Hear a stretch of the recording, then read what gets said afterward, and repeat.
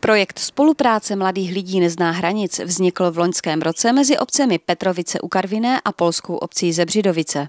Tato spolupráce obsahuje mnoho typů aktivit, které jsou zaměřeny na zvyšování jazykových znalostí a dovedností žáků, na poznávání sociokulturního prostředí, ale také na soutěžení a soupeření ve sportovních odvětvích.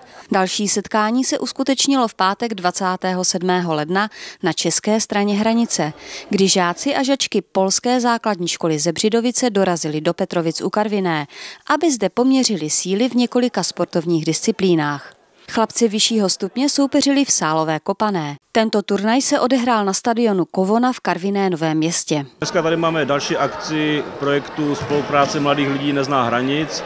Je rozdělena do tří částí. Tady v Kovon, na Kovoně hrajeme fotbal, v Markovicích malé děti mají závodivé hry a v Petrovicích v tělocvičně děvčata hrají vybíjenou. Nejlepší družstva dostanou diplomy a nějaké drobné ceny. Za měsíc bude podobná akce v Polsku, budeme tam hrát vlastně míčové hry, zavodivé hry a protože Poláci mají i bazén na škole, tak vlastně budeme soutěžit i v bazénu. Je to świetna sprawa, możliwość kontaktu z Czechami, rywalizacji, także uważam, że świetny pomysł i jak najbardziej przyklasnąć takim inicjatywom. Souběžně se odehrával turnaj mezi dívkami z vyššího stupně Petrovické a Zebřidovické základní školy v tělocvičně základní školy Petrovice. Družstva byla sestavena dle ročníků a turnaje se zúčastnilo šest týmů. Žáci nižšího stupně, tedy od druhé do páté třídy, soupeřili v disciplínách zaměřených na běh a koordinaci pohybů, kdy žáci přeskakovali překážky a kličkovali mezi kužely štafetovým systémem. My tady jsme eh, žáci z prvního stupně, jak ze školy Petrovická, Markovická, tak Závacká a naši přátelé ze Žebřidovic. Dneska to byly štafety, různé typy štafet s překážkami, s náčiním. Myslím, že to bylo e, zajímavé a že se to dětem líbilo.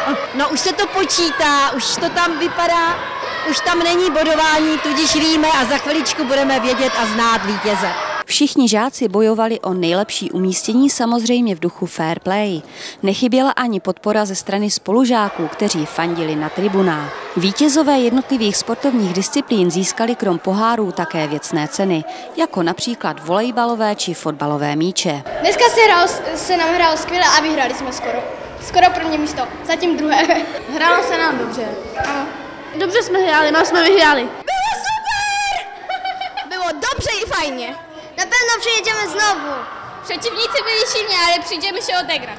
Tato setkání se budou konat po celý rok 2012.